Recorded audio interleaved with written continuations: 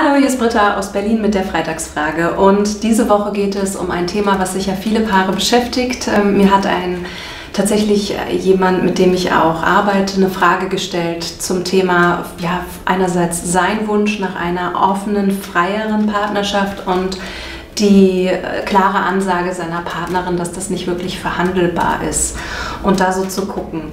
Und ähm, er sagte dazu, ja, also wir haben einfach viel Konfrontation, wir haben viel Diskussion gehabt, aber nach drei Jahren ist halt für ihn klar, dass da sehr wenig Spielraum ähm, besteht und das nagt und zeigt sich immer wieder an Vorbehalten zum Zusammensein.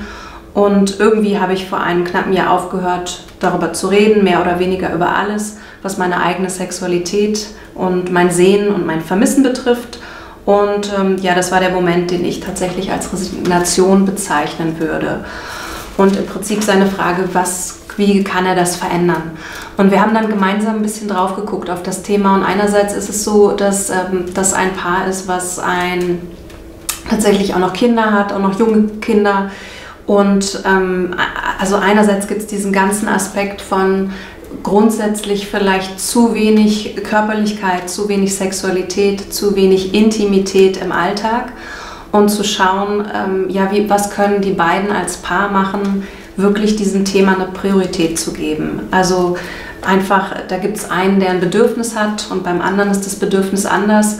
Und ich glaube, dass man in einer Liebesbeziehung sich nicht alles gegenseitig erfüllen muss, ja, aber dass man zumindest, wenn man den anderen liebt, einfach möchte, dass es demjenigen gut geht und zu gucken, wie kann ich dich dabei unterstützen. Und ich ähm, glaube, ja, aus diesem Aspekt heraus einfach zu sehen, okay, du hast ein Bedürfnis nach mehr Sexualität insgesamt, was können wir gemeinsam tun? und da wirklich regelmäßige Verabredungen zu treffen. So, also das in der Partnerschaft zu stärken und zu gucken, wer braucht was, damit es mehr stattfindet. Der zweite Aspekt ist aber tatsächlich, wie ist es, wenn einer das Bedürfnis hat, ich möchte nur mit dir gemeinsam zusammen meine Sexualität leben und der andere sagt, hey, ich, ich liebe dich, ich bin gerne mit dir zusammen und ich habe aber einfach auch noch eine Neugier herauszufinden, was es da noch gibt. Ich habe eine Neugier einfach auch meine Sexualität im, ja, zusammen im Kontext mit anderen Menschen zu erleben und zu erforschen.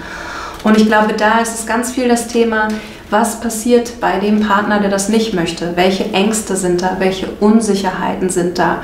Und ich glaube, dass von so einer theoretischen Perspektive intellektuell ist den meisten Menschen klar so, ja, der andere gehört mir nicht, seine Sexualität gehört mir nicht und idealerweise ist er hier bei mir freiwillig, weil er das möchte. Und was ist jetzt, wenn er was anderes möchte als das, was ich vielleicht will oder was oftmals ja auch in meiner Komfortzone liegt?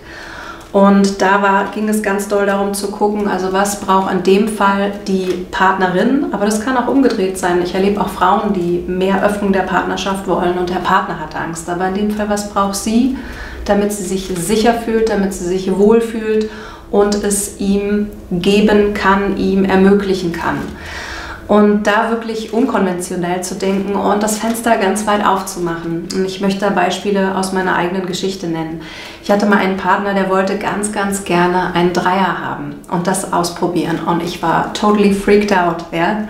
Und einerseits ging es bei mir darum, mir das Thema anzugucken, wie ist überhaupt meine Beziehung zu anderen Frauen und äh, wie sind auch, äh, wo habe ich Unsicherheiten, wo habe ich vielleicht ein Minderwertigkeitsgefühl, wo habe ich Angst, nicht zu genügen.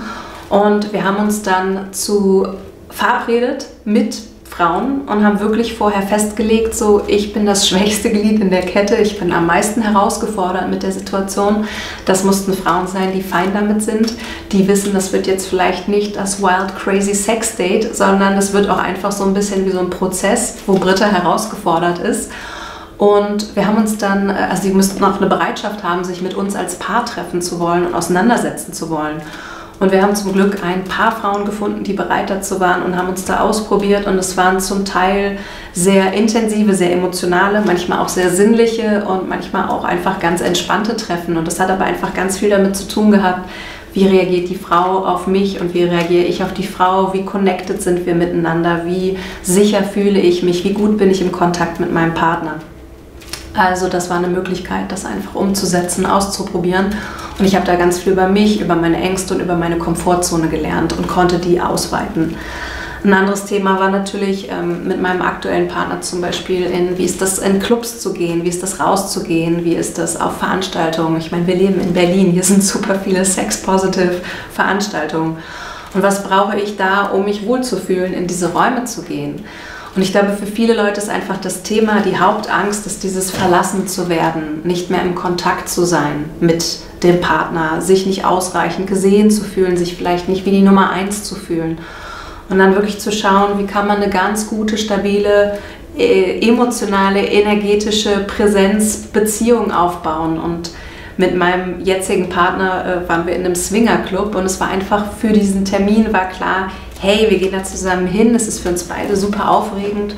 Und wir haben vorher vereinbart, dass wir bei diesem ersten Date einfach im Kontakt miteinander sind, dass wir jetzt nicht groß, dass wir uns da umgucken, dass wir es klar ist, dass wir erstmal miteinander sind. Und es war wirklich, äh, wir waren beide aufgeregt und es war total witzig. Und ich ähm, konnte mich da rein entspannen und einfach auch zu sehen, ich glaube oft ist es, dass wir versuchen, unseren Partner zu testen, so wie ernst meint er das, wie verlässlich ist er in den Vereinbarungen, die wir treffen.